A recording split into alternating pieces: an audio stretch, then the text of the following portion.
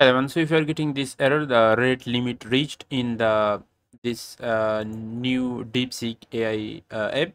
So in this video, I'll be showing you how to fix it.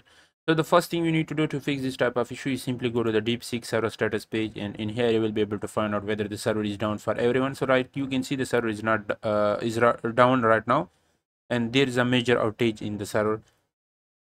So uh, if it's uh, this type of scenario in your case, you need to wait for some time and uh, when the server is back then you will be able to fix the issue. But if the server is not down and uh, you are the only one to face this type of issue so uh, in this case what you need to do is uh, make sure to disable all type of extension that you have currently installed on your device or on your browser. So once you uh, disable extension next click on this three dot icon go to the setting. Uh, sorry i have just